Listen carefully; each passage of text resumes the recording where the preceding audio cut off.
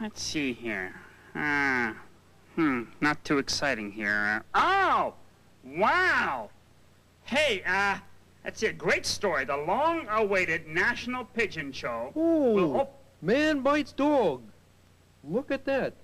There's a, there's a great story in the newspaper there about a man biting a dog, Bert. Ernie, Hmm? will you stop reading over my shoulder? Oh, oh, I, I'm sorry. I just, Thank you. I, I won't do it anymore, Bert. Okay. Uh, let's see here. Where, where was I? Oh, yeah.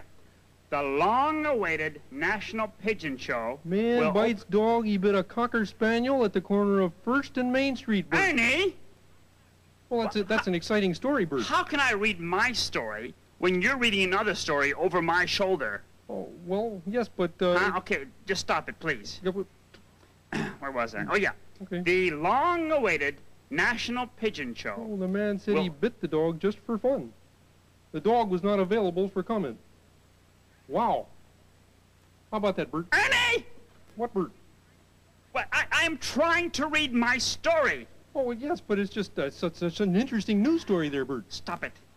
Yes, sir. The long-awaited National The Pigeon dog's Show. owner wants to find the man to see if he had all his shots. Ah! All right, all right, Ernie, Ernie. Yes? I, I tell you what. What?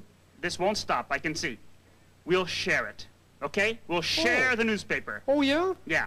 Oh, that's a great idea, Bert. All right. Uh, I'll take part, and you take part of it. Okay? Okay, sure. Okay. Go ahead. You take part. Okay, I'll just, uh, Well, hold it. What do you do? if you Wait, don't mind, uh... well, wait, wait. What do you? Hold, Sorry, oh, Ernie! mhm. What? What? Oh, great. Now, let's see. There was fear that the dog would get rabies. Huh. Um. Let's see. Where was I? Uh. Oh yeah. The long-awaited National Pigeon Show will uh, open at the Square Garden on the 20th of November. The theme will be Great Pigeons in History. It will. Uh, Bert, please, you're reading over my shoulder.